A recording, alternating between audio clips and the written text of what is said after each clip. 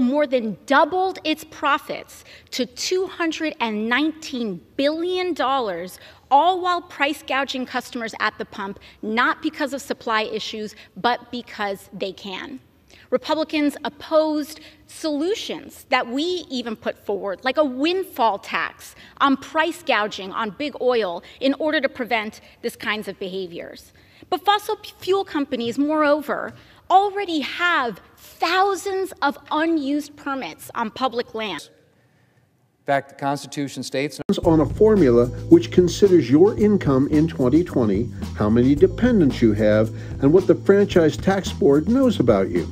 So, if you already got a Golden State stimulus check last year by direct deposit, your stimulus will come to you between October 7th and 25th.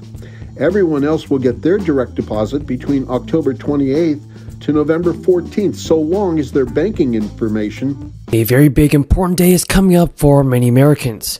Democrats and Republicans are finally coming together to propose new legislation. Several proposals have been proposed in Congress, and these new plans will provide low income households with at least one bonus stimulus check. After nearly 100 consecutive days of falling gas prices, fuel costs have spiked in recent weeks, and this time, the price increase coincides with the lead up to the midterm elections, and the trend could determine which party gains control of Congress.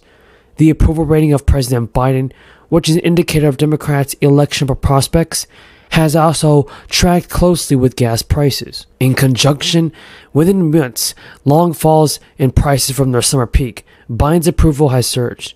And since the increase in prices took hold two weeks ago, Joe Biden has risen 1.1 percentage points in approval ratings. Joe Biden also announced moves that aim to address the oil supply shortage behind the cost spike, including a scheduled release of millions of barrels of oil from the nation's strategic petroleum reserve. But the price of gas and the recent movement of that price varies dramatically across key midterm states, in some states like New Hampshire and Pennsylvania prices have already been increased or even fallen over the last month. In Arizona, a swing state host to highly contested races for governor and senate, the price of a gallon of gas stands at $4.40, a figure roughly 15% higher than the national average of $3.82. According to AAA, moreover, the price of gas in Arizona has risen more than 8% over the past month. In Wisconsin, where a high stakes Senate race could determine which party holds the chamber.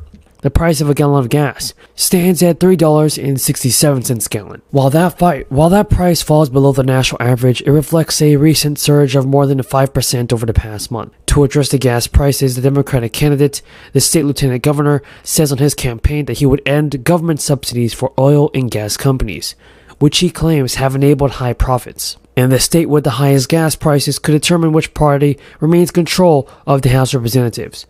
Gas prices in California stand at five dollars eighty-three cents a gallon, which puts the which puts the about the average national, which puts the price about fifty-two percent higher than the national average. That price has spiked nearly eight percent over the past month. In responding to these increases, various members of Congress introduced bills to send direct aid to families to bring down gas costs. Mike Thompson, John Lauren, and Layson Underwood all released a proposal, everybody, that would offer a $200 gas credit for $100 to qualifying households who live in areas where the average price of a gallon of gas is over $4. Representatives Larson said in a statement that the crisis is putting a strain on our economy, and I am proud to be working to introduce this legislation to provide middle class Americans with monthly payments to ease the financial burden of this global crisis. And after the details of the proposal were made public, Joe Biden announced that the U.S. would move to have a million barrels of oil released from the nation's strategic reserves. The additional supply that has been flowing into the market has helped to bring down costs. Supply chain disruptions occur. Crude oil prices have also started to increase once again. Many families may finally see some recurring stimulus checks again. Lawmakers have actually suggested that these payments be automatically deposited and mailed out to Americans as long as they meet the requirements. So, the latest poll, everybody, asked respondents about the major issues facing the country, and the responses highlighted familiar problems and challenges for millions of people the economy, inflation, and the health of our democracy. Many Americans have also pointed three rounds of stimulus checks and expanded monthly child tax credits as a vital lifeline during the crisis. And the expansion, which is passed as President Biden's crisis relief program, delivered hundreds of thousands of dollars into people's bank accounts every month, ultimately helping 65 million children and keeping 3.7 million people out of poverty. Let's not forget about the expanded child tax credit. It was heralded as one of the most significant policy achievements of the Biden era. Half of the enhanced sum was made available through monthly payments starting last July, up to $300 per child under 6 and up to $250 per child under 18. Democrats hope to renew the more generous credit this year. The key legislation they hope to pass through a one-party majority fell apart when Joe Manchin opposed renewing the payments without additional work requirements. And now advocates for the expanded child tax credit say they're looking ahead to next steps. The first opportunity for new legislation could come at the end of the year when Congress negotiates extensions on expiring business tax breaks. Advocates are also looking at new administrative solutions at the IRS and thinking more seriously about state level reform amid state budget surpluses and new research detailing just how much families benefited from the now expired expanded federal credit. One lawmaker told reporters that we're going to focus it on over the next couple months to see if we can get it included in a tax extender bill. During the past year, as inflation has wreaked havoc on bank accounts and eroded the value of existing family benefits, lawmakers have faced pressure to offer relief.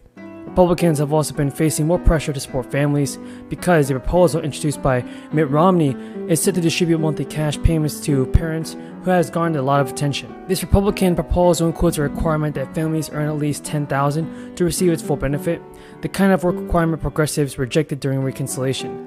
And to reach a bipartisan deal at the end of the year, Republicans and Democrats will need to reach an agreement on whether work requirements should be required in order to receive expanded child tax credit payments.